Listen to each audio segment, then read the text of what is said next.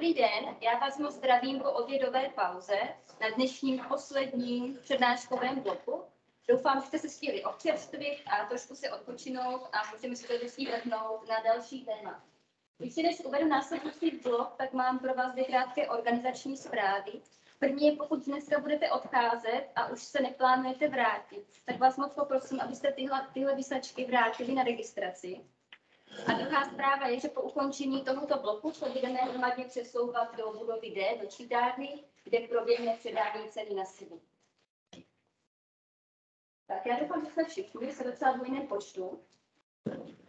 Tak tento přednáškový blok se bude skládat ze tří příspěvků na téma, jak designovat online vzdělávání. Naši přednášející se s náma podělí o zkušenosti ze svých projektů nebo ze svých vzdělávacích aktivit, na kterých nám konkrétně ukážou, jak pracovat s cílovou skupinou středoškoláků, jaké služby vzdělávací nabízet, jaké inovativní metody na nich třeba zkoušet.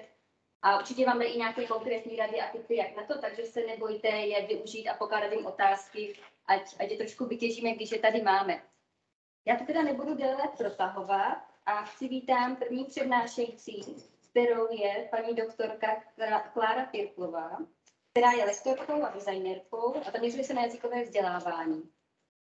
Přinese nám tedy první příspěvek na téma, jak podpořit jazykovou vybavenost mládeže. Takže předávám slovo a těším se. Děkuji moc za slovo. Já vás tady taky vítám po obědě a udělám všechno, co je v mých silách, abych vás neuspala. A se svým tématem jazykové vybavenosti a jazykové výuky mládeže.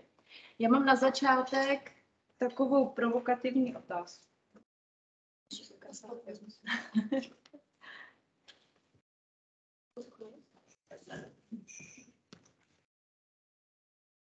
Ale fungovalo to. že to fungovalo.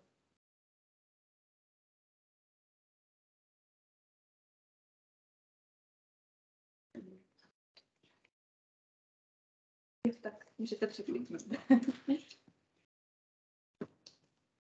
Jo. Já mám na začátek takovou provokativní otázku. Patří výuka jazyků do knihovny a jak tam patří? A já tu odpověď na to neznám, ale mám pocit, že to téma se teďka nově otevřelo a s příchodem a vlastně uprchlíků válečných, kteří se potřebují naučit česky.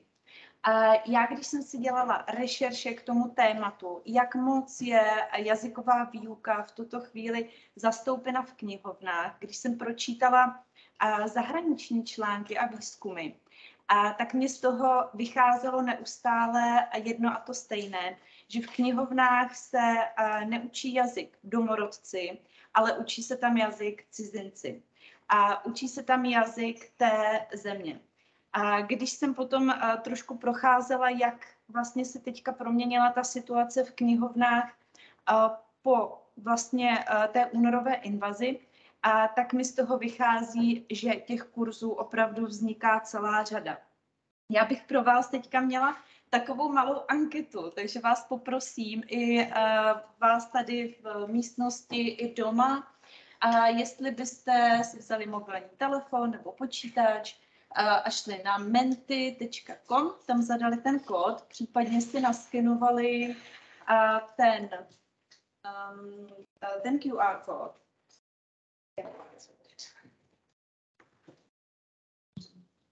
tak a doufám, že tam je spuštěná uh, tahle anketa s otázkou. Probíhá ve vaší knihovně výuka nějakého cizího jazyka, ať už češtiny pro cizince, uh, nebo, um, nebo nějakého jiného, angličtiny, němčiny.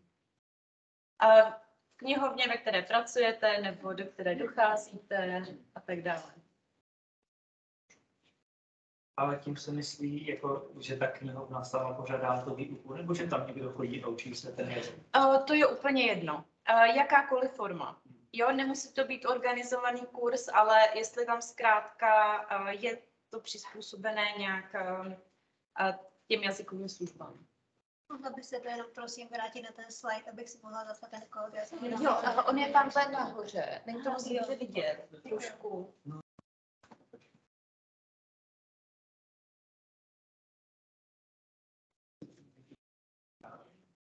Tak, vypadá to, že uh, tu máme, jo, tak ještě chvilku počkáme, ale zdá se, že převažuje, uh, že vlastně ta výuka v knihovnách uh, neprobíhá, částečně ano, částečně nevíte, tak je to tak.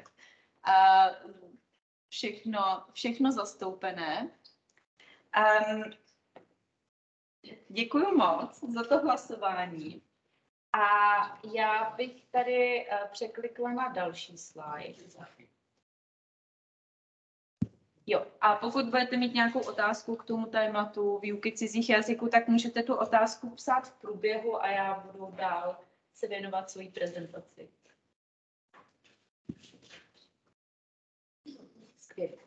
Tak jo, takže uh, co se týče uh, vlastně uh, třeba knihoven v zemích jako je Kanada nebo Spojené státy, případně Německo, a tak tam vlastně probíhá výuka toho jazyka jako cizího jazyka. A v našich podmínkách je to výuka češtiny pro cizince. Nicméně, vlastně pokud se cizinec, který žije v naší zemi, učí cizí jazyk, tak se neučí cizí jazyk, ale učí se češtinu jako druhý jazyk. A to znamená, že ta, ten přístup k výuce češtiny je maličko jiný, než když prostě děti se na základní škole třeba učí angličtinu nebo němčinu. A samozřejmě, že ale um, jakoby knihovna předpokládá se, nebo já předpokládám jako lektorka cizího jazyka, může být právě tím místem, které vyzývá vlastně um, k tomu, aby se mládež zlepšovala i v těch jiných jazycích. Jo, takže uh, jsou takové dva trendy ve výuce jazyků u mládeže. A já tady nebudu úplně rozlišovat, jestli je to právě ta čeština jako druhý jazyk, nebo jestli je to třeba angličtina nebo němčina. Uh, u té mládeže je to vlastně jedno, jo, protože mnoho uh, mladých lidí se vlastně učí angličtinu tak, aby potom třeba studovalo v té zemi. A to znamená, že vlastně a ten přístup je ty mladé lidi co nejvíce do toho jazyka ponořit nebo je co nejvíce obklopit. A možná jste slyšeli tu zkratku CLIL, Content and Language Integrated Learning, což je obsahově a jazykově integrované propojené vzdělávání. A Evropská unie dává tomuto přístupu zelenou, to znamená, že vlastně je to přístup, který se hodně propaguje na základních školách, na středních školách a probíhá to většinou tak, že se do nějakého, eh, nějakého předmětu, jako například dějepis nebo zeměpis, prostě integruje cizí jazyk. Uh, angličtina, němčina, podle toho, jaké jsou možnosti té školy. A děje se to třeba i ve výtvarce, v tělocviku, v matematice. Možná jste to někdo zažili, takovýhle typ výuky. Často je to v tandemu, někdy je to prostě jeden učitel, a, který a, se to vezme celé za své. Imerze je, znamená splynutí. A imerze je přístup, který se více láme do volnočasových aktivit. Ne tolik do těch předmětů, do těch uh, vlastně předmětů, kde je potřeba třeba získat nějaké, uh, nějaké znalosti nebo, nebo dovednosti. Imerze uh, více uh, se nám třeba vláme do třeba do těch knihoven. a já hnedka ukážu, trendy jsou totiž jedna věc a potom ty konkrétní aktivity. Jo? A já, protože mám pocit, že jako je potřeba diskuze, a ještě abych to řekla jinak, a my jazykoví lektoři se jako neustále snažíme hledat cesty, jak ten jazyk dostat ze třídy mimo tu třídu. Neustále vlastně jako strašně nám to šrotuje, jak bychom ty lidi uh, přiměli, aby se učili ten jazyk sami, aby nějak převzali zodpovědnost za vzdělávání a tak. No a uh, já mám vlastně pocit, že ta diskuze mezi jazykovými lektory a knihovníky se může krásně sejít právě tady na těch dvou trendech. A tyhle ty trendy mají své jako samostatné výukové techniky. Ty techniky můžete vzít a v podstatě je použít, ať už se něco ve vaší instituci mění nebo nemění, prostě uh, můžete si je jakoby vypůjčit a začít je testovat. Vlastně úplně okamžitě. Pokud vzděláváte mládež, nebo pokud se sami vzděláváte jako mládež, a tak vlastně můžete tyhle ty přístupy využít. Jo. A ty výukové techniky jsou storytelling, což je vyprávění bez zprostředkujícího jazyka. To znamená, pokud se bavíme třeba o češtině pro cizince, tak a prostě je úplně jedno, jestli mluvíte nebo nemluvíte ukrajinsky. A na toho, na ty studenty můžete začít okamžitě mluvit česky. Samozřejmě, že to má jako svoje nějaké limity, o kterých budu mluvit. A TPR, kdo má malé děti, tak to možná zná ze školky, a, kde se učí angličtina, takže těm dětem vlastně říkají třeba doběhně na druhou stranu místnosti, vrať se zpátky, ty instrukce probíhají v angličtině a ty děti vlastně reagují tou celkovou fyzickou odezvou. A tenhle ten přístup není ovšem jenom pro malé děti, ten se dá velice dobře použít právě i pro mladé lidi a dospělé.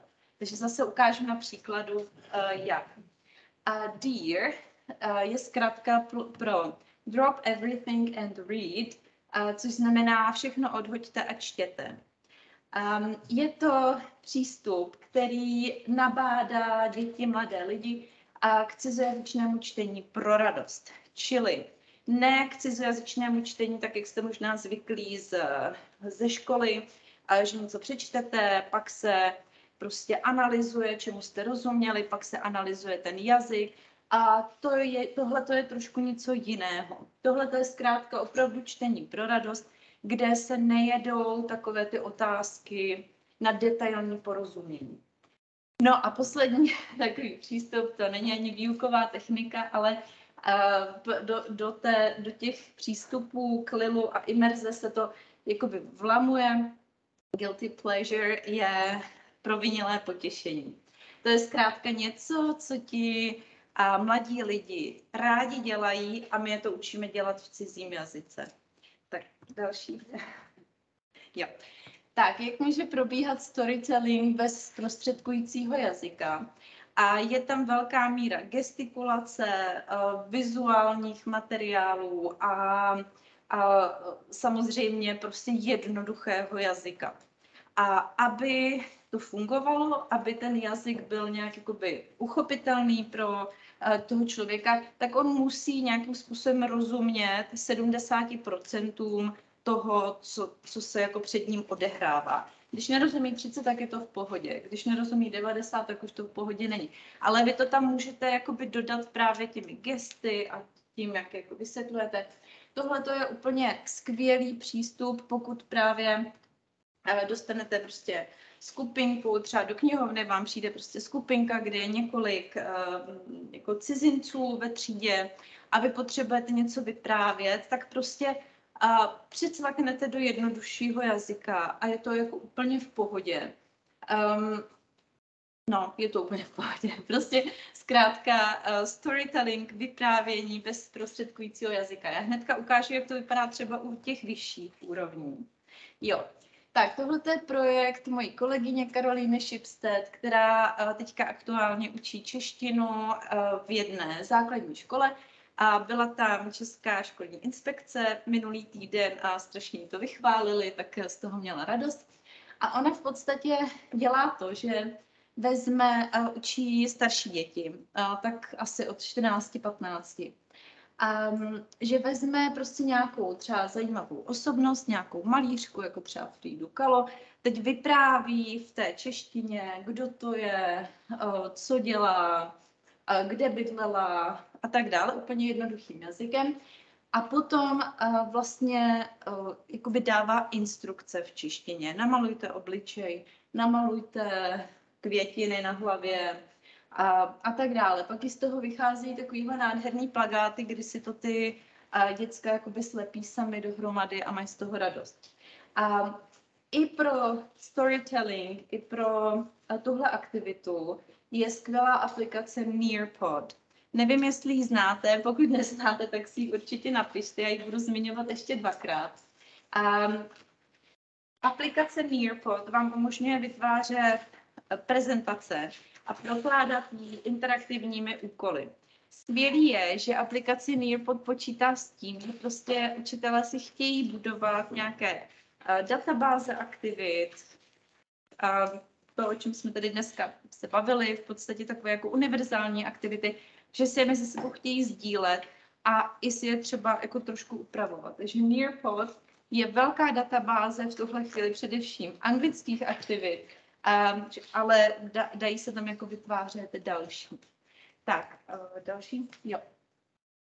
Uh, dear, drop everything and read, všechno zahoďte a čtěte, je uh, cizojazyčné čtení pro radost. To se nedá dělat s úplnými začátečníky.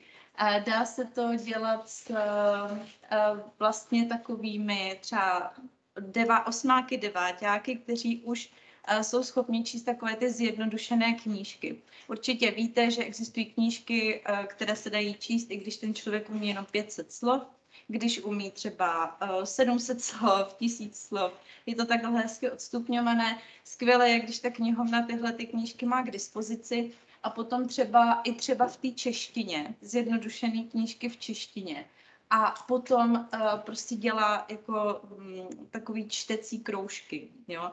A ty děcka si můžou vybrat každý svoji knížku. Není to tak, že by si jako bylo řízeně jedna kniha. Potom si uh, o té knížce povídají.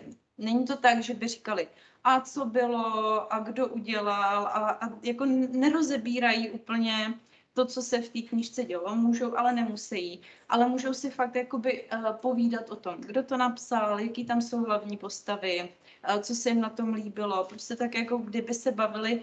V češtině jsou k tomu uh, pracovní listy, uh, které se dají vygooglit, je jich spousta. A um, dá se to zase propojit s Nearpodem, který vlastně umožňuje nepoužívat pracovní listy, ale ty pracovní listy v podstatě překlopit do těch interaktivních kvízů. A ten interaktivní kvíz funguje tak, jak jste teďka používali Menty, to znamená, že vy těm studentům dáte kód, oni si to najedou v mobilu a pak už si to tam nacvakají. Tak. No. A poslední guilty pleasure, uh, provinilé potěšení. A takovým jako mým, na čem hodně teďka ujíždím, je vocabulary. A pokud to neznáte, tak si to určitě uh, najděte. Je to educational hip-hop, je to, jsou to vzdělávací videa, uh, vlastně jako v rytmu hip-hopu, je to v angličtině, ale je to úplně jednoduchý, takže pro výuku angličtiny skvělý. Uh, lyrics training, pokud neznáte, tak tam si vlastně jako děcka naklikají písničky, které mají rádi a učí se podle toho slovíčka. Takže to je, jako tyhle ty dvě aktivity mít v knihovně, tak tam jsem prostě furt. No a tak prostě co za mě jako lektora můžou dělat knihovna a vyprávět bez prostředkujícího jazyka, propojovat uh, vlastně nějaký zajímavý osobnosti, zajímavý témata s tím cizím jazykem a dělat čtecí kroužky, ale vlastně takový, aby to bylo opravdu pro radost a nechat ty, uh, tu mládež hodně poslouchat, dostat prostě ten jazyk úplně co nejvíc do ucha. No. A to je úplně všechno ode mě. Takže uh, mě najdete na sociálních sítích a. A teď ještě bych se podívala možná na ty otázky, jestli tam nějaký jsou. A žádný nejsou. tak moc krát děkujeme za inspirativní přednášku. Zeptám se, jestli třeba někdo z online nebo tady z učebny nemá otázku, kterou bych chtěl přednést. Pokud ne, tak já se možná zeptám, která z těch metod je vaše nejoblíbenější nebo kterou nejčastěji vy využíváte. Mm-hmm. Jo, uh, já asi jako využívám všechny Mhm. tyhle ty kombinace tady těch, a protože vlastně proto jsem je tady uváděla, protože mi přijde, Mhm. že vlastně a je to něco, co toho člověka opravdu dokáže namotivovat. Mhm. Jo. Tak moc rád děkuji.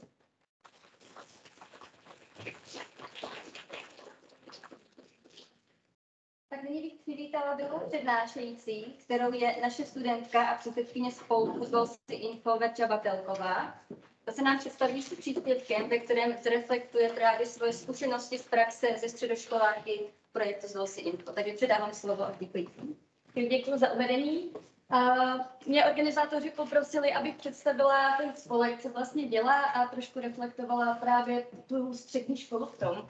Tak já se o to pokusím a na konci se vám pokusím dát i seznam nějakých zdrojů, kdybyste sami chtěli vytvářet nějaké podobné programy, tak z čeho můžete čerpat. A tak dobře. Děkuji. Něco málo o mě, eh, jmenuji se tedy Veronika absolvovala jsem žurnalistiku a politologii na Fakultě sociálních studií. Nyní studuji na KISku, kde se soustředím hlavně na vzdělávací technologie a předsedám tedy tomu spolku, o kterém to tady bude řeč. Spolku Zvol si info, který vznikl právě během toho mého studia žurnalistiky a politologie. My jsme byli vlastně parta studentů, spolužáků, zapsali jsme si předmět na tvorbu projektu, Mysleli jsme si, že to potrvá jeden semestr, že nazbíráme nějaké kredity a pak zase budeme studovat dál, ale nějakým způsobem nás to chytlo, bavilo a tak už šest let se zabýváme tím tématem mediální a i informační gramotnosti. A postupně jsme se různě vyvinuli, původně jsme cílili jenom na střední školy, teď už cílíme na mnoho dalších skupin, ale to, co se změnilo, je takové, teda to, co se nezměnilo, je takové naše hlavní pravidlo a to je to, že se snažíme držet nějakou politickou neutralitu a objektivitu, kdy neříkáme těm studentům, co třeba mají číst, co nemají číst, jaká sociální síť je správná, špatná, který politik třeba lže a který mluví pravdu. Spíše se snažíme jim předat nějaké nástroje, jak si ověřovat informace, jak přemýšlet o těch informacích, než abychom prstem ukazovali třeba na nějaké ty politiky. Jak už jsem řekla, tak naší hlavní cílovou skupinou jsou ty střední školy. My jsme původně cílili na gymnázia, dále jsme se snažili dostat i na střední odborné školy, na učiliště.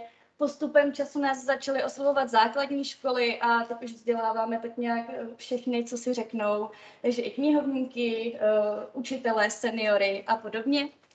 Ale ta střední škola je pořád to naše gro, to hlavní, kam jezdíme nejčastěji. Stejně tak se postupně rozrůstají ta témata, kdy my jsme se na začátku zabývali pouze fact-checkingem neboli ověřováním informací. A pak jsme ale zjistili, že dezinformace jsou napojeny na spoustu dalších témat, ať už je to na to, jak fungují samotná média, jak fungují třeba sociální sítě, které jsou takovým katalyzátorem, díky kterým se dez- dezinformace dnes dostávají k daleko více lidem. I to, jak funguje třeba lidský mozek, protože náš mozek má různé zkratky, je občas takový líný a proto je jednodušší uvěřit právě dezinformacím. Souvisí to s digitální pohodou a se spousty dalšími tématy, kterými se zabýváme a nejčastěji ale se to pořád točí okolo těch dezinformací. A jak tedy se, jak vlastně interagujeme s tou mediální a informační gramotností, tak interagujeme různými způsoby. Máme nějaké nástroje, docela nás baví vytvářet různé mobilní aplikace a hry, takže máme hru Infosaurus, kde běhá dinosaur, skáče, sbírá nějaké penízky a občas mu tam vyskočí kvíz, kde musí odpovědět, třeba ověřit si nějaký obrázek, ověřit nějaký výrok a podobně. Teď máme prototyp tady pizza záhady, což je taková záhada, jestli ananas patří na pizzu nebo nepatří a studenti si čtou různé informace v té aplikaci a zjišťují, kde je teda vlastně pravda a na konci diskutují. Dalšími našimi nástroji, kterými se snažíme rozvíjet tu mediální a informační gramotnost, tak jsou publikace. Naše nejznámější je kniha o fake news, ale dále píšeme věci, které jsou spíše pro učitele a pro knihovníky, kdy máme publikaci Rozšifruj zprávy, která se zabývá právě středoškoláky a ta publikace cílí na knihovníky a učitele. Je to taková metodická příručka, kde jsou napsané různé uh, typy na to, jak právě dělat workshopy. Podobně potom tady, jak vznikají zprávy a jak se je snadno ověřit, což je zase pro knihovníky, ale je to spíše pro tu uh, dospělou veřejnost a pro seniory, respektive cílí to na skupinu 55+, plus, kde zase máme tam typy, jak dělat workshopy, co třeba dělat, když na lekci do knihovny přijde člověk, který, který věří dezinformacím, nebo přijde a začne knihovníkům vykládat, že jsou hloupí, že jako si myslí, že země je kulatá, když je přece ve skutečnosti placatá, podobně. A pak taky máme průvodce po sociálních sítích, který opět pro učitele, pro knihovníky, pro rodiče, kde se snažíme popisovat ty nejnovější sociální sítě a jak fungují, protože často třeba rodiče nemají moc tušení, jak jejich děti tráví čas na mobilu a tohle je taková publikace, která by mohla pomoci. To jsem zmínila různé ty nástroje, které se dají používat třeba online, ale samozřejmě to, co děláme nejčastěji, je, že se potkáváme přímo s lidmi. Teď jsme pořádali výstavu o dezinformacích ve, Slí, ve Zlíně, ale nejčastěji jsou to různé přednášky, workshopy, lekce ve školách a velmi často právě i v knihovnách. A jak už jsem ukazovala tu myšlenkovou mapu, čím vším se zabýváme, tak všechno se to točí okolo nějaké mediální a informační gramotnosti. Ty gramotnosti mezi sebou trošku tak splývají, obzvlášť u nás, kdy, když jdeme třeba na základní školy, tak si myslím, že to je spíš nějaká digitální gramotnost než ta mediální. Mediální a informační je to spíše na těch středních školách. A my se sice opíráme o nějaké rámce a teoretická východiska, ale zjednodušili jsme si to, jak vnímáme mediální gramotnost, aby komu to dokázali lépe vysvětlovat právě třeba eh, na těch workshopech. A mediálně gramotný člověk je pro nás takový, který se vyzná v tom mediálním světě, nějakým způsobem mu rozumí, rozpozná, jaký je eh, rozdíl mezi faktem a názorem, což může vypadat docela banálně, ale když se podíváte někam třeba do komentářů na novinkách nebo na Facebooku, tak zjistíte, že lidé si to dost často pletou, co to je ten názor a co to je fakt. Dále rozpozná, které informace jsou podstatné a nepodstatné, třeba do nějaké práce nebo do tvorby nějakého názoru. No a nakonec dokáží si vytvořit právě nějaký ten názor a argumentovat. Ono to docela splývá uh, tady s těmi třemi kompetencemi, které vlastně definuje UNESCO vyhledávání, hodnocení, tvorba, kdy ta informační a mediální gramotnost se může promítnout právě do těchto tří komponent. E, člověk je schopný vyhledat si nějakou informaci, poznat vůbec, že ji potřebuje, dále si ohodnotit, jestli ta informace pro něj je relevantní, není a nakonec na základě těch informací a toho hodnocení něco vytvořit.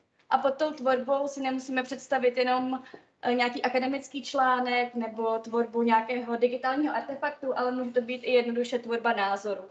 A právě na tu tvorbu názoru se soustředíme poměrně hodně.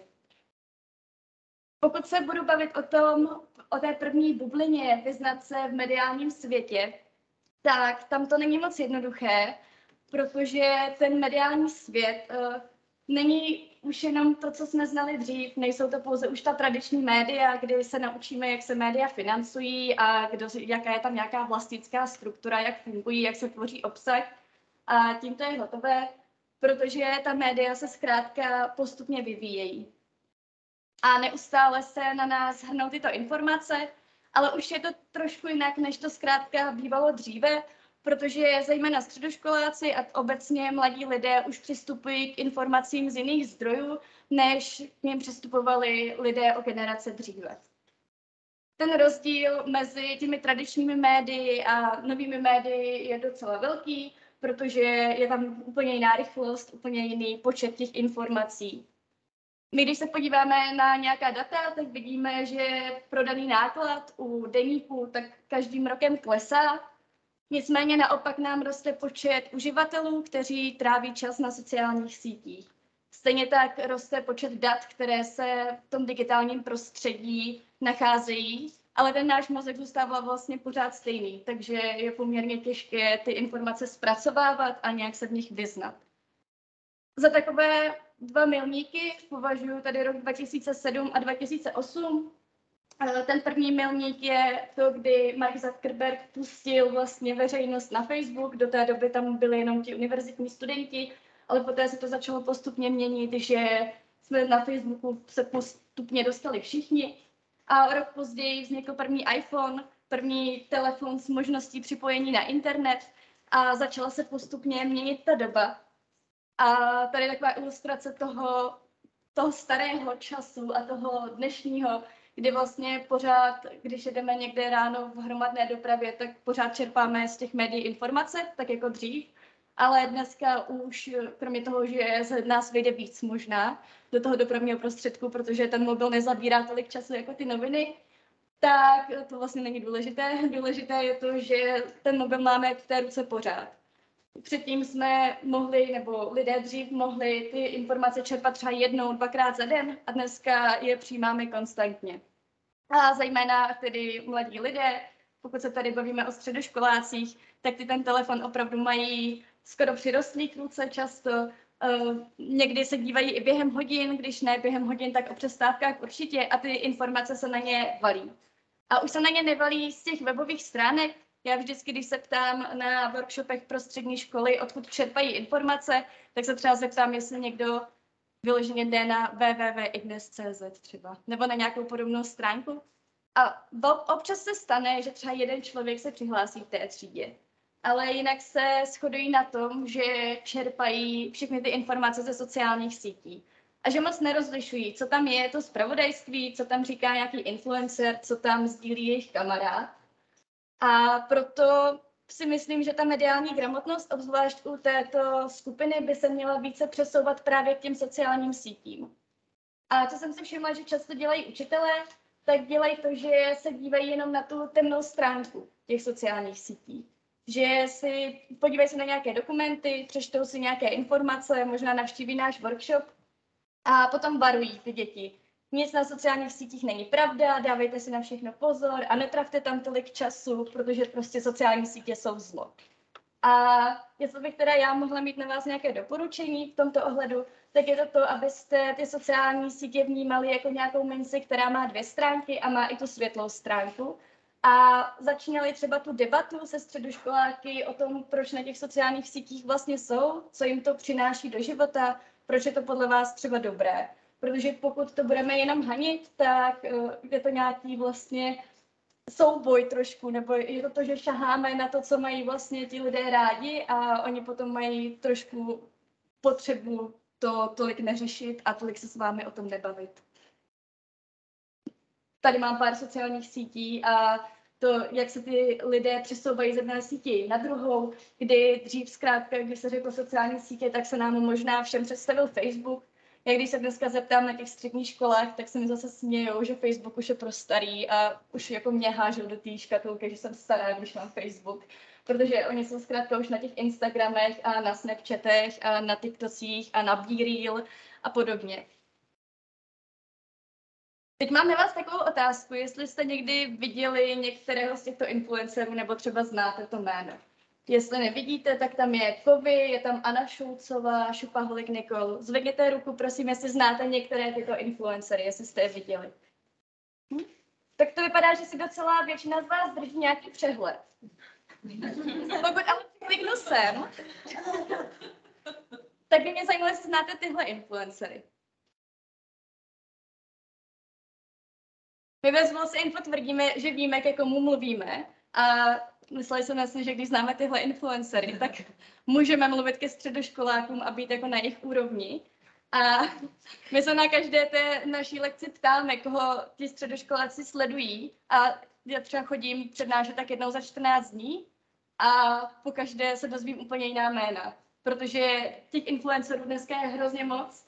Hvězdou se může člověk stát opravdu ze dne na den a zkrátka už ani my se nedokážeme tolik orientovat v tom, koho přesně ti středoškoláci sledují.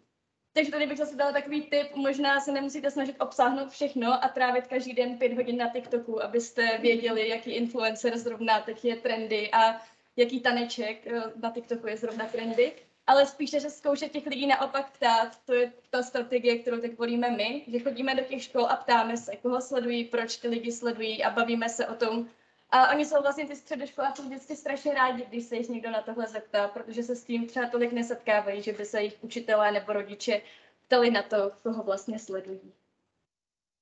Tak, a jak celé téma té mediální a informační gramotnosti dostat do knihovny? Já tady mám tři takové jako možnosti, které se dají nakombinovat, vybrat z nich jedna, nebo to můžete úplně vypustit. Můžete si pozvat nás na nějaký workshop, můžete využít některé ty naše materiály, které jsem zmiňovala, my je máme na, na webu a jsou všechny dostupné zdarma, anebo můžete vytvořit nějaké vlastní programy. K tomu, abyste vytvořili nějaký vlastní vzdělávací program, tak je to docela jednoduché, protože na internetu se dá najít spoustu skvělých věcí. Pokud zůstanu jenom u těch sociálních sítích samotných, tak bych doporučila tady některé filmy nebo případně hru Digitální stopa. Co se teď filmu týká, tak uh, jsou to dva dokumenty, Social Dilemma, které je dohledatelné na Netflixu, případně český dokument v síti, anebo seriál Marty is Dead, kde když tyto věci uvidíte, tak možná trošku víc nasajete tu atmosféru z toho, jak ty sociální sítě fungují. Co se pak týká nějakých dalších mediálních nebo mediálně gramotných zdrojů, tak bych doporučila opět tady nějaké, já to potom asi dám organizátorům, takže kdybyste chtěli ty zdroje si potom přečíst, tak samozřejmě se k tomu můžete vrátit. Velmi bych doporučila Facebookovou skupinu Sdílíme zkušenosti z mediální výchovy, což je skupina, která právě integruje do sebe různé učitele, knihovníky a další aktivní zájemce o toto téma. Dále třeba nadační fond nezávislé žurnalistiky, mapamedii.info nebo světmedii.info, což je asi moje nejoblíbenější stránka. Je to od pana Kaderky, který dělá mediální výchovu a on tam má napsané všechny možné české i zahraniční zdroje právě na toto téma. To je k tomu vyznat se v mediálním světě. Já jsem měla na začátku takové ty bubliny, co to je mediálně gramotný člověk, tak jedna z těch dalších bublin bylo to, že umí rozpoznat obsah a manipulace.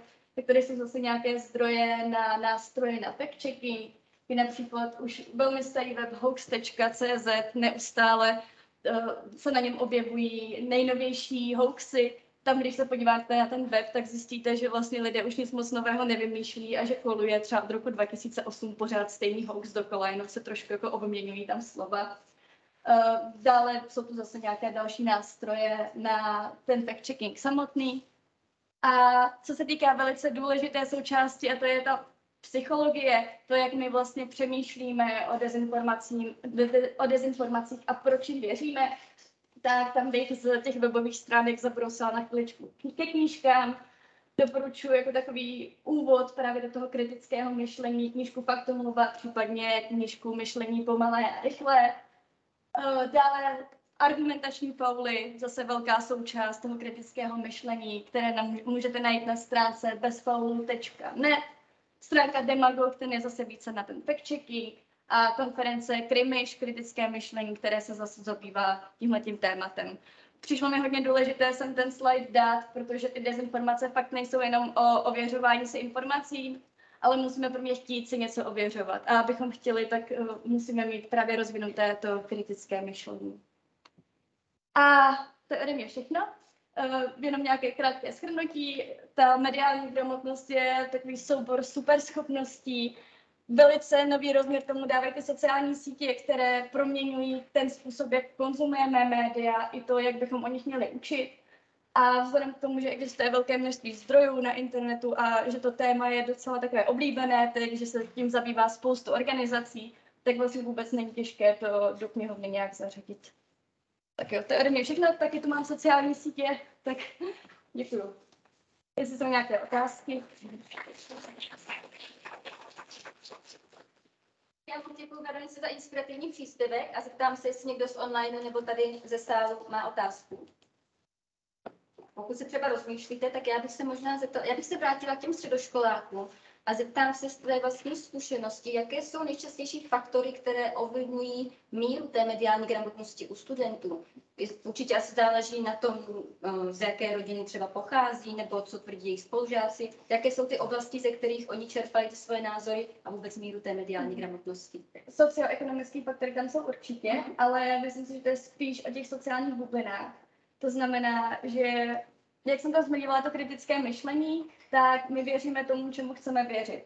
A najednou je úplně jedno, jak moc jsme vzdělaní nebo z jaké rodiny pocházíme, ale pokud jsme obklopeni nějakými přáteli a třeba se nám líbí nějaký influencer, tak uh, mnohem z nás uvěříme, že má třeba pravdu. Takže jako záleží tam na těch socioekonomických faktorech, ale není to to jediný. Jo, děkuji. Tak nějaké další otázky?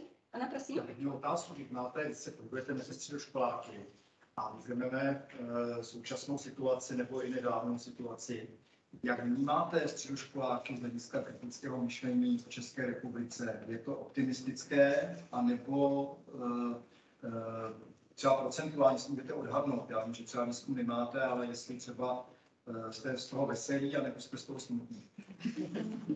Teď tak nedávno proběhl výzkum, že mediální gramotnost roste tak to je takový optimističtější. A na těch školách vidím rok od roku, že ti studenti toho znají daleko více, že vlastně musíme pořád dělat pokročilejší a pokročilejší přednášky, protože vždycky bylo jako, mm, tak to už známe, tak vždycky musíme přitvrdit.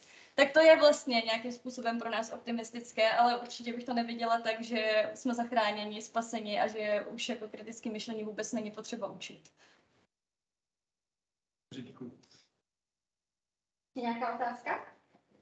Já jsem se teď nedávno setkala s takovým případem, že uh, měl dyslexii a vlastně ono ho to strašně demotivovalo si dohledávat ty informace, protože vlastně strašně nerad čte.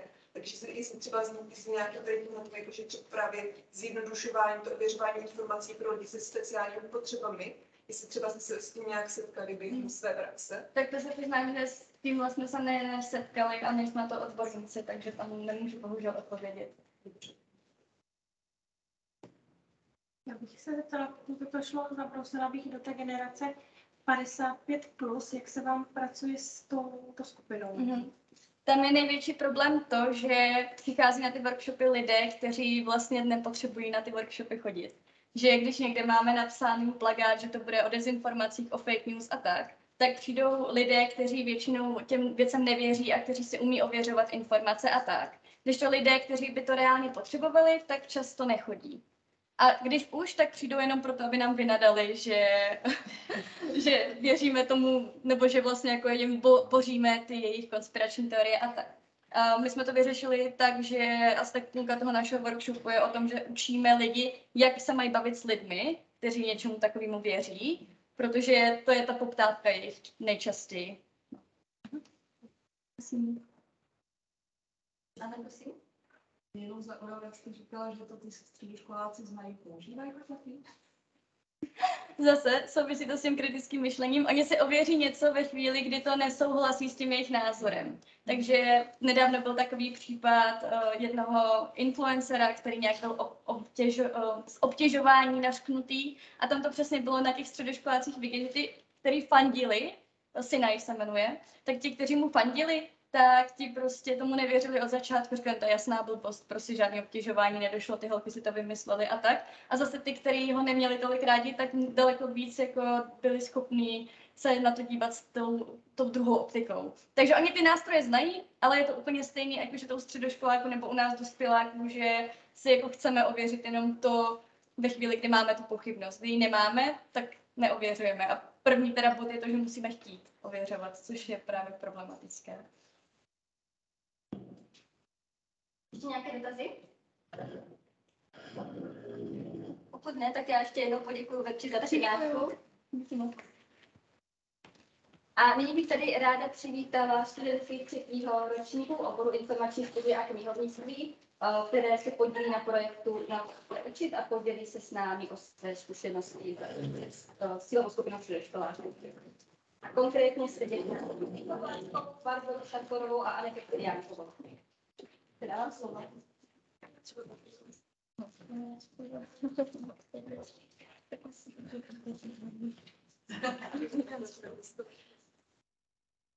Tak eh, dobrý den, děkujeme za uvedení a za prostor pro představení projektu jak na odbornou práci, eh, které jsme byli součástí.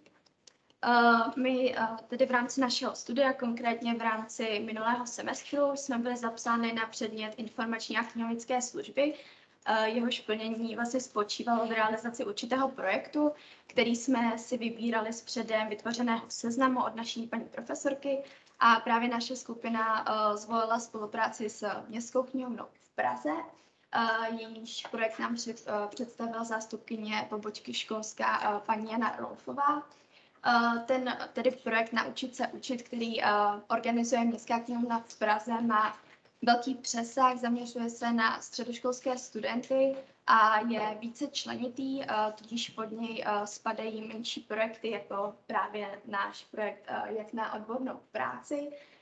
V souvislosti s tímto projektem navázala Městská knihovna spolupráci s Gymnáziem Potíčská, kde musí studenti pro ukončení svého středoškolského studia napsat odbornou práci a tu následně před uh, maturitou odprezentovat.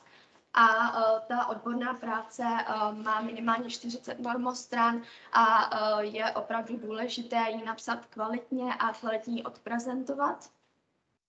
Proto právě naším cílem bylo pomoci těmto studentům s napsáním té práce i s jejím odprezentováním a chtěli jsme jim vlastně vysvětlit ty zákonitosti té odborné práce, představit jim naše zkušenosti, nějaké typy a rady a uh, pomoci, uh, pomoci jim nejenom s tím napsáním té práce, ale také s výběrem tématu, s odprezentováním a uh, také například se stresem a time managementem, který s tím už se souvisí a sami víme uh, například u psaní bakalářské práce, jak jsou i tyto faktory důležité. Uh, Cílová skupina našeho projektu byly primárně studenti druhých ročníků tohoto gymnázia, protože uh, ti si to téma teprve vybírali a začali na té práci aktivně pracovat, ale účast těchto studentů byla pouze uh, dobrovolná a mohli tam přijít vlastně kdo chtěl, takže tam zavítali i studenti například prvních ročníků, druhých a i se nám tam objevili z, z posledních ročníků, protože jeden uh, ten modul byl zaměřen právě na to prezentování, což mohli ještě uh, sami využít. Uh, co se týče obsahu toho projektu, tak ten jsme si rozdělili na čtyři takové tematické moduly, které jsme prezentovali prostřednictvím našich prezentací, aktivit se studenty a vytvořenými materiály. Jedním z těch materiálů je například souhrná brožura, jak napsat závěrečnou práci. Studenti mají k dispozici podobnou, podobný materiál od školy, ale ten tvoří 85 stran, což tedy i samotní studenti hodnotí jako neúplně funkční a nechce se jim ani ta brožura úplně otevírat. Proto naším cílem bylo vytvořit uh, brožuru, která jim byla více sympatická, uh, opravdu obsahovala jenom ty základní informace z těch jednotlivých modulů a věříme, že se jim i otvírala s nás. Uh, byla i takovým odlehčenějším způsobem. Uh, byly tam uh, například informace na určité Eh, aplikace, měli tam svůj prostor, eh, kam si mohli eh, psát i svoje poznámky. Tady vidíte ukázku z té brožury. Ta ukázka je zaměřena na první modul tematický, který vám tady představí moje kolegy. Děkuji za slovo a já bych se vám teďka nějak stručně představila celý obsah kurzu a čemu jsme se v něm vlastně věnovali. Tak, um, my jsme při našem výběru se snažili vybírat uh, hlavně ty oblasti, u kterých nám připadalo, že student, který poprvé píše nějakou odbornou práci, uh, by v nich mohl nějak tápat a mohli by mu vlastně činit úplně největší problém. A aby jsme uh, vlastně témata zařadili nějak chronologicky za sebe taky v tom postupu psaní té práce, tak jsme se rozhodli otevřít celý, eh, celý kurz pro studenty modulem z Nervák a Kvidiasem, který měl uh, víceméně za účel pomoci studentům uh, s organizací času a s organizací vlastního harmonogramu, aby si uvědomili, že psaní takovéhle práce opravdu vyžaduje hodně času a je potřeba na to být připravený a je potřeba na tom vlastně opravdu mm, jak pravidelně pracovat. Takže to byla vlastně jedna z těch součástí, které, které nás uh, v tomhle tom, uh, modulu zajímaly. A dále jsme se jim pokoušeli vštípit trošičku povědomí o nějakých, uh, řekněme, pomocných právě aplikacích, nebo o nějakých metodách, které nám samotným pomáhají, když uh, vlastně máme něco psát a úplně nevíme, jak s tím začít, nebo se nám do toho moc nechce, nevíme vlastně, jak to téma uchopit. Takže jsme se kromě toho Eh, zaměřili ještě na nějaké uklidňující techniky, které by pomáhaly prostě na sklidění mysli, aby si skutečně mohli utřídit myšlenky předtím, než vlastně vůbec začnou s prací. Tak a dále jsme navazovali modulem uh, formátování, typografie a další šílenosti. Tak um, tento modul byl oproti tomu původnímu opravdu hodně praktický, protože jsme se hodně soustředili hlavně na to, jak má odborná práce vypadat po formální stránce. A chtěli jsme, aby si studenti uh, zároveň taky nějak vštípili, uh, jak se jak se pracuje vlastně s některými technikami ve Wordu, které, o kterých třeba nemuseli úplně vědět, o kterých jsme třeba uh, my na střední škole taky vlastně nemuseli vědět a přesto by byly při tom psaní opravdu hodně, uh, hodně užitečné. Takže jsme se zaměřili právě na uh, jednotlivé, jednotlivé složky boardu a zároveň taky na některé důležité klávesové zkratky, které by mohly pomoci. Tak. Další modul se zaměřoval na více na dva okruhy a jmenoval se Plagiátory nemá nikdo rád. Takže se zaměřoval primárně na uh, citace a hlavně na citační etiku. A zároveň jsme do něj uh, zakomponovali ještě vůbec vyhledávání zdrojů celkově. A u, té, u těch citací jsme se snažili, uh, kromě citační etiky, jim ještě představit uh, všechny věci, které by jim mohly pomoci, protože nějak sami ze střední školy víme, že uh, ty citace byly něco, s čím jsme trošičku bojovali. Takže jsme jim představovali právě například uh, jako citační normy představovali jsme normu ISO 690 a představovali jsme například nějaké citační manažery, které by mohly právě pomoci celkově vytvořením, z té, uh, z té, vytvořením té citace. A konkrétně například citace.com. A aby jsem se přesunula zase k vyhledávání těch zdrojů, tak um, vzhledem k tomu, že úplně se nepohybujeme v jejich oboru, protože to bylo přírodovědné gymnázium, tak jsme je asi nemohli úplně odkázat na nějaké vyloženě, uh, něco vyloženě konkrétního, protože se v tom neorientujeme, asi tolik jako oni, ale snažili jsme se jim uh, odkázat například na nějaké uh, opravdu užitečné katalogy knihoven, které by mohly působit jako dobré zdroje. A zároveň jsme se snažili naučit, jak se dobře vyhledává. Takže jsme je pokusili, když jsme jim pokusili se vysvětlit, jak například fungují uh, různé operátory ve vyhledávání nebo například pomocné znaky, což bylo něco, co jsme třeba na střední škole my úplně nevěděli a vlastně by nám to celkově zpětně asi dost pomohlo. Tak a poslední, uh, poslední modul se věnoval samotné prezentaci, protože uh, po té, co mají tu práci napsanou, tak ji potřebují zároveň uh, odprezentovat a musí si ji nějak obhájit. Takže jsme uh, se zaměřili hodně na naše vlastní typy, uh, vlastně z prezentování čehokoliv. Na to, jak má člověk vytvořit nějaké, nějaký správný dojem, jak má dobře komunikovat právě s, s publikem. A zároveň jsme se chtěli, kromě tady z těch uh, obecných věcí, trošičku zaměřit na uh, samotnou obhajobu, a snažili jsme uh, se nějak připravit na fakt, že při té obhajobě bude, bude potřeba si tu práci opravdu obhajovat. Takže je možné, že se prostě setkají s nějakou zpětnou vazbou, která není úplně lichotivá, není úplně příjemná.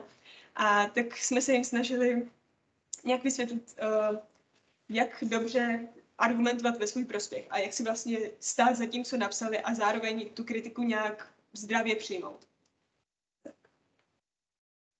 Celkově uh, jsme využívali mnoho pomůcek a ono se to hodně lišilo eh, jako modul od modulu, protože měly samozřejmě jiná témata a zároveň ne všechny moduly proběhly vyloženě tak, jak měly, uh, protože uh, první a druhý modul probíhaly prezenčně normálně na škole, jak bylo plánované a ten třetí a čtvrtý modul jsme museli potom po odsunutí nakonec přesunout do online a navíc spojit, protože už nám už nás tak nějak tlačil čas. Takže to probíhalo takhle v oboje naraz. A jak už bylo zmíněno, tak jsme hodně spolehali na naše vlastní prezentace, které už jsme promítali a odkazovali na ně. A dále jsme, kromě příručky, která byla už jednou promítnutá, která byla vlastně taková celková, udělali ještě jeden oddělený materiál, který se věnoval přímo boardu a těm eh, jednotlivým funkcím. A dále jsme používali zároveň na každé další lekci opakovací testy v Kahootu, aby jsme jim pomáhali mm, si nějak utřídit všechno co slyšeli a aby se, aby se to prostě všechno nějak sedlo. A to jsme používali uh, hlavně hodně na těch prvních dvou modulech. A ten třetí a čtvrtý modul dohromady, tak s těmi to bylo kvůli uh, tomu finálnímu řešení trošičku těžší. Takže jsme opět mohli využít naši prezentaci a nějak ten opakovací test, ale u těch uh, praktických cvičení tak to bylo trošičku složitější, což uslyšíte později. Um, ale naopak nám třeba um, to prostředí online pomohlo využít na nějaká, nějaká videa, která se věnovala přímo prezentování, což by možná mohlo být uh, promítání uh, na škole jako prezenčně možná někdy trošičku problém kvůli technologiím.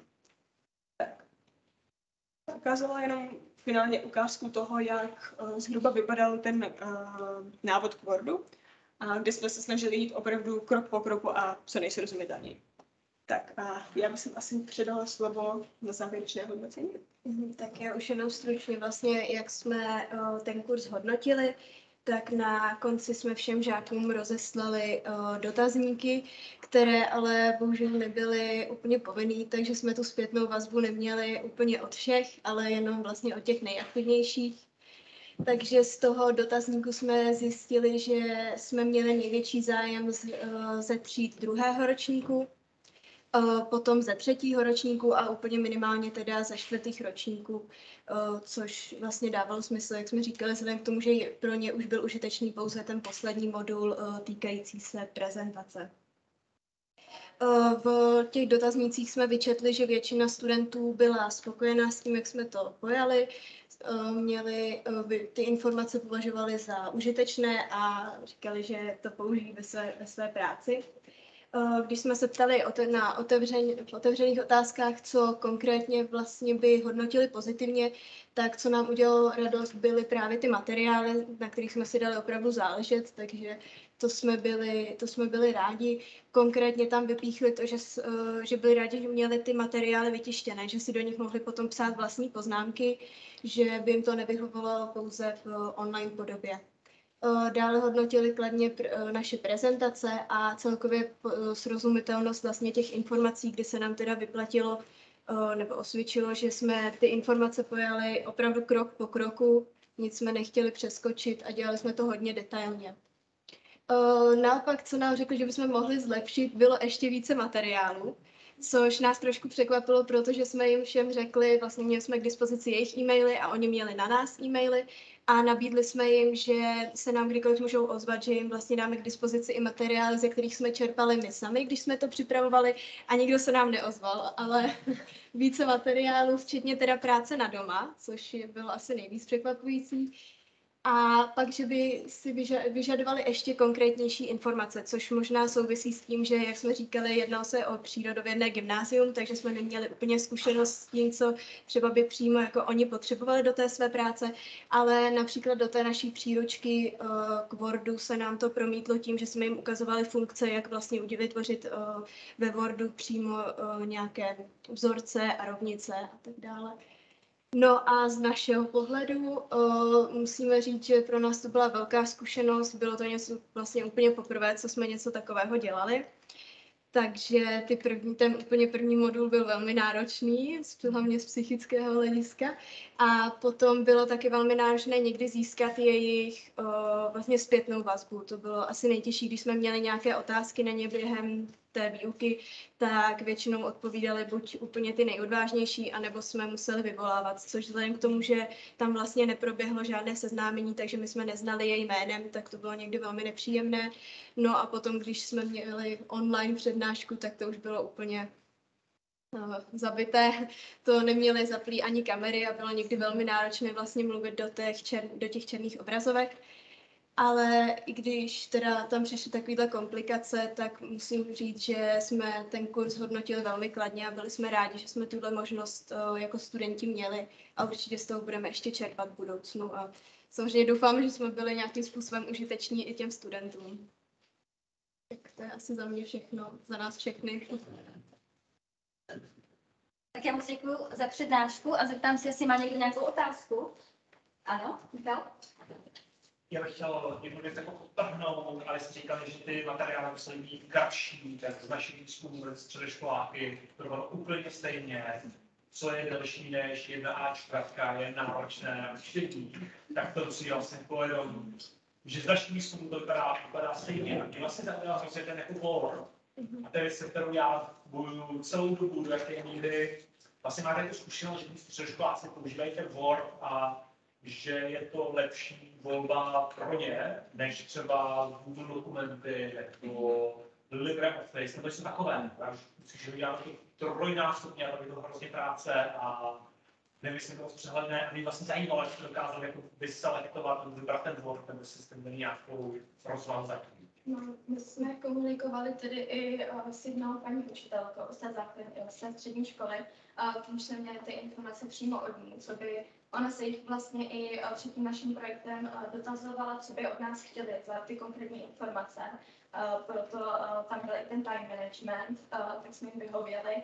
A právě tam byla i otázka uh, s týčnou formátování. A z toho vzešlo, že budou všichni pracovat ve velkém proto jsme se zaměřili právě na ten web více detailně a, vlastně každou tu funkci jsme popsali hezký krok po kroku, to vysvětlilo. Děkuji moc. Já to možná navážu a zeptám se, eh, jak jste přemýšleli nad tím, jakou formu toho kurzu zvolit. Eh, Co bylo tím základním eh, tou podmínkou, jak jste se rozhodovali, protože třeba spousta jiných možností, měli jste možnost natočit videa nebo vyrobit nějakou hru, tak proč jste se rozhodovali, v jaké formě ten kurz bude, jak bude vypadat? Tak já si myslím, že asi i podle uh, našich časových možností, protože to měli přeci jen v rámci naší výuky, našeho předmětu a potřebovali jsme i stihnout ten projekt v rámci semestru, i když to se tedy nestalo, mm-hmm. ale natáhlo se to jenom lehce. A ty prezentace jsme zvolili, protože s tím máme největší zkušenosti, ale chtěli jsme vlastně zapojit i ty studenty, protože víme, že u těch středoškolských studentů to chce nějak aktivizovat. Uh, u té, uh, vlastně u toho jednoho modulu jsme posadili za počítače a to jsme zjistili, že není úplně chytré, protože získat zpět jejich pozornost bylo opravdu složité. A, ale tak to už pro příště. A z těch materiálů, tak tam jsme právě vycházeli z toho, že měli tu příručku od té školy, ale věděli jsme právě i od té paní učitelky, která to přiznala, že sice tam jsou uh, ty informace podrobné a ta příručka je opravdu hezky zpracovaná, ale uh, pro ty studenty zkrátka uh, po ní nestáhnou. Takže proto jsme vytvořili tu brožuru i tu příručku pro to formátování. To jsme vycházeli hlavně. Děkuji. Ta brožurka je čistě v elektronické podobě, nebo jste i nějaké natiskli? Ne, ty jsme tiskli a museli jsme na uh, každý ten modul. Takže se nám stalo, že uh, brali studenti i svým kamarádům, kteří se nemohli dostavit, ale potom jsme jim tu brožuru vlastně nabídli i v té online podobě. Já mám dvě otázky, jednak chci moc poděkovat, bylo vás velmi zajímavé a ráda bych se dozvěděla víc. Takže první je, jestli ty materiály někde jsou k dispozici a můžeme se na ně buď to jenom podívat, pokud si nepřejete, aby jsme dál šířili a případně, kdyby se nám líbily, taky i používat při práci se středoškoláky. A druhá otázka je, jestli jste měli možnost vidět ty výsledné práce těch studentů. Uh, vidět, jak vlastně zapracovali ty vaše rady v praxi, ale jaké třeba používají zdroje, to vždycky hrozně zajímavé. Tak eh, ty, uh, myslím, tak ty materiály jsou uh, přístupné na stránkách UISPu. Mm-hmm. Uh, tam je přímo na nástěnce článek o tom projektu a je tam jak ta brožura, tak i vlastně ten příspěvek o tom formátování. Prezentace tam tedy nejsou dostupné, jsme nikam nedávali, ale ty bude hlavně tedy v bodech pro nás hlavně. A, a co se týče těch prací od těch studentů, tak uh, to jsme tady opravdu neviděli. Ale uh, doufáme tedy, že i ta zpětná vazba, která uh, probíhala jenom tak jako lehce na chodbě s těmi studenty, ne úplně oficiálně, uh, tak tvrdili, že to jako rádi využijí, tak snad ano. Děkuji. Ještě nějaká, ano? No tak já se zeptám, když jste zmínila tu zpětnou vazbu od studentů, jaká byla zpětná vazba od uh, těch jejich vyučujících, nebo té vyučující, která vlastně podle mě má na starosti? Jo, my jsme tady komunikovali jenom s tou jednou paní učitelkou, ta byla opravdu nadšená uh, z celého projektu. Uh, vyžadala si brožuru i pro pana ředitele, i pro sebe. A, a nás odměnila právě čokoládou, takže, takže to bereme jako úspěšné, ale uh, opravdu pokud mohla, tak byla na těch modulech přítomná uh, sama. A na jednom tom modulu byl i její kolega a zapojili se i do uh, takže to také ocenili a vlastně komunikovala i tady s paní Rochovou z Městské knihovny a eh, říkala, že by to ráda ten materiál využila i pro další ročníky. Uh, já teda Městská knihovna v Praze, já mám celý ten projekt naučit se učit na starosty. A nechtěl jsem vám to říkat předem, abyste. A, takže moc, moc děkuju. Možná bych jenom to doplnění říkal doktor Černý. A my jsme tam byli na začátku a sbírali jsme vlastně požadavky těch studentů. Máme například velký padlet, ve kterém máme to, co by si představovali, co by vlastně chtěli, témata, co by potřebovali pomoct. Takže vlastně na to reagovalo potom to zadání pro UISK a vlastně vy už jste měli něco v ruce, s čím jste, čím jste pracovali. A tam je to tak, že oni to mají povinné, to znamená, že to je pro ně veliký strašák a mají skutečně jako mega brožu, mega znávod na to, ale neví si s tím rady. To znamená, že pro ně eh, to mohla být jako vel, velmi dobrá možnost, jak, jak si pomoct a jak, jak získat tu pomoc. A, a vlastně myslím, že pro ten příští rok, protože vyučující jako by velmi ráda, aby se s tím pracovalo dál, s tím, s tím materiálem a vlastně už se jako domlouvá právě s naší knihovnou, jak, jak by se toho dál zapojili. Uh, jsme jakožto ty průvodci s těmi těm materiálům, a tak vlastně myslím, že tam bude i větší zájem těch dalších třeba aktuálních uh, prvních ročníků, druhých, kteří vlastně to mají před sebou v tuhle chvíli. To znamená, že kdyby byste pomohli vlastně jako tohleto nastartovat a ukázat, že, že my knihovna můžeme pomoct, za což s vámi jako děkuji velmi a, a tohle bude pokračovat, ta spolupráce. To znamená, že to, to, to, to, to že rozjeté. Ještě nějaká otázka?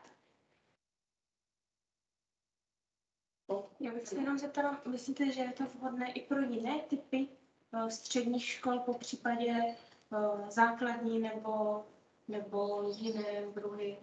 Jo, určitě. My jsme se nějak úplně jako cíleně nezaměřovali na to, že jsou přírodopisné gymnázium, takže si myslím, že na všech středních školách by se to dalo uh, využít. A na těch základních školách tak uh, taky, myslím, minimálně ta práce třeba s Wordem a potom práce s tí, i ten time management a i teda to uh, prezentování vlastně i před lidmi jsme tam zahrnuli, takže to všechno by se určitě dalo využít. Ještě nějaký dotaz?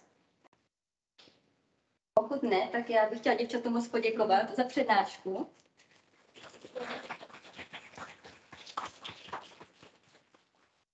Vám moc děkuji za pozornost, vám, co tady sedíte v sále, i těm, co nás poslouchali z onlineu.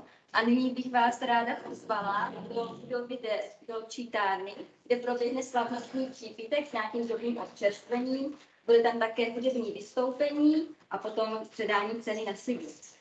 Takže se na vás moc těšíme. Uh, možná vás trochu navedu, když vyjdete ven na dvůr, tak se dáte doleva, vyjdete schody a hned zabočíte doprava do budovy, je to v přízemí. Uh, pokud byste bloudili, tak já za dvě minuty budu stát dole na dvoře, tak se mě odchytněte a nás na všechny uh, dovést na místo. Takže asi ještě máte čas se třeba napít, skočit si na záchod a budu se na vás teda těšit potom na kulturní program. Děkuji.